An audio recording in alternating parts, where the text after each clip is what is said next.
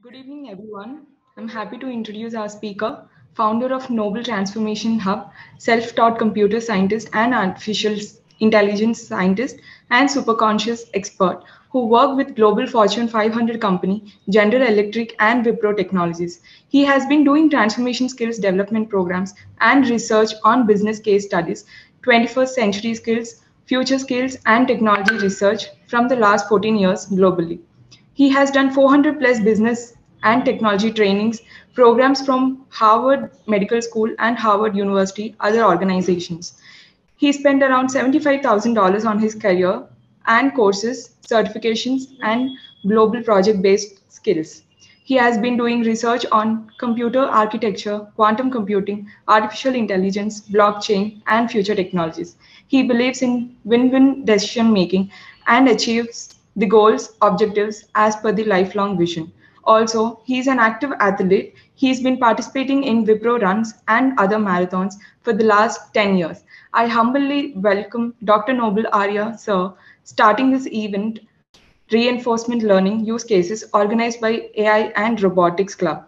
Now I request everyone to keep yourself muted and at the end of the session, we will have the Q&A. Thank you, sir. I hand it over to you.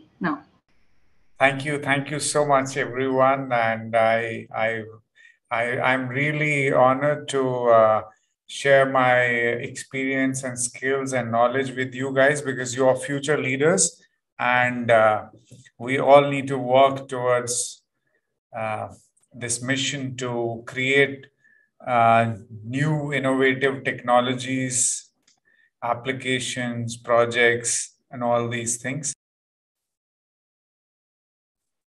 Okay. Industry automation, there are like in industry, it is also applied. You can see in, in automobile, like robots are manufacturing um, cars themselves through machine learning. Okay. Okay. And industry automation with reinforcement learning. In industry, reinforcement learning based robots are used to perform various tasks. Okay. Apart from the fact that these robots are more efficient than human beings. That is truth. You know why we human beings are like there was a champion, a Go champion. He lost the game Go, and the chess we have lost. We are not so efficient because we have not explored our. We've always seen life outside We've never seen our life inside. We have not explored ourselves. We have not transformed ourselves. It's, it's transforming first our body, our ourself. Know thyself, who thyself. You know why I am pursuing AI plus super consciousness? Why I'm doing that? Because I want to understand first myself. And then I will be able to transfer that win win and uh, that serving humanity concept through my actions and my technology or intelligence. Okay. So we need to do, we need to understand first ourselves. When we understand ourselves, what will happen? We'll understand the whole universe. Okay. So why these robots are or these machines are efficient than human beings? What is the problem? And the, this is the this this gap uh, there's a threat that humanity like we are thinking that after 200 years or sometime so humanity will not like will have very less population. Will uh, like a lot of people will lose jobs. 50% uh, until 2030 50% people will lose jobs and you guys are the leaders right now in this class, whosoever is actively listening.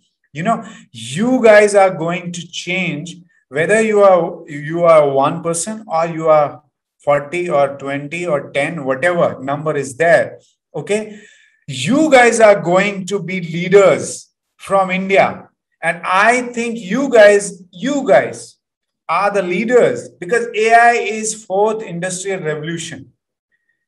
16 US dollar, 16 trillion US dollar economy.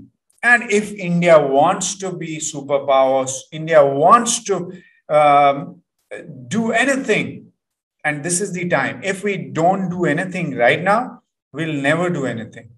This is the time. This is the super time.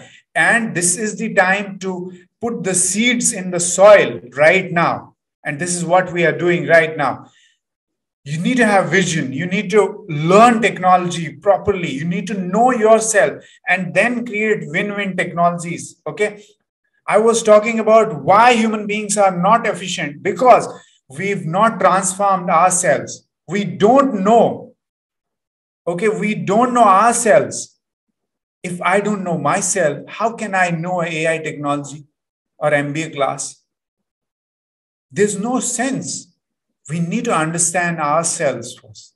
And when we understand ourselves, what will happen? We can robot. It is a very easy job to control a robot.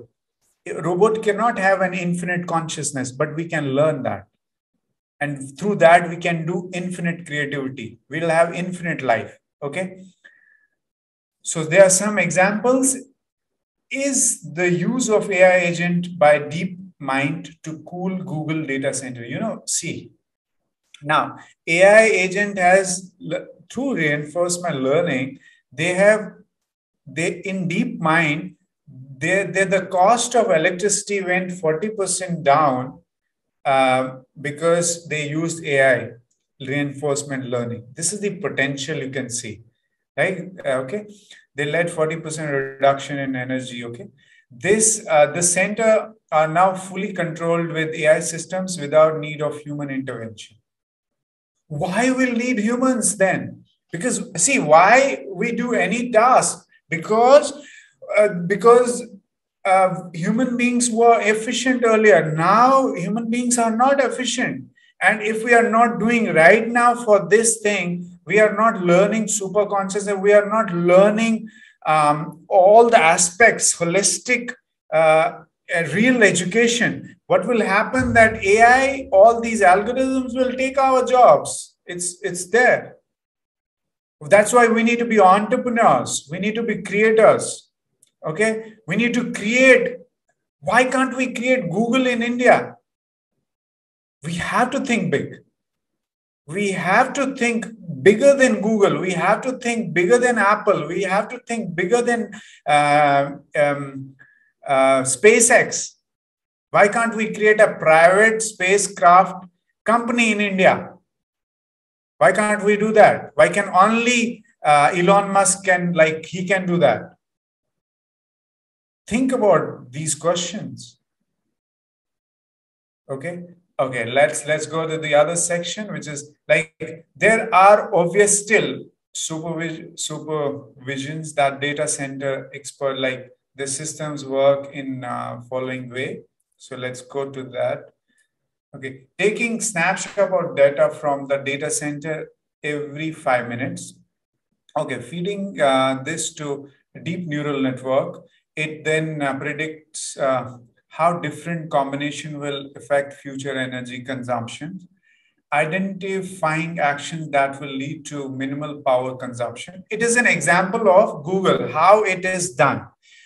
Uh, how deep deep DeepMind, the, the reinforcement learning is used in uh, Google, and then what happens after that, like what are the algorithms, how they do it, then there will be coding and applic that that that is okay but these are the steps. Like identifying action that will lead to minimal power consumption while maintaining set of standard safety criteria and implementing these actions at data center. The actions are verified by local control system okay?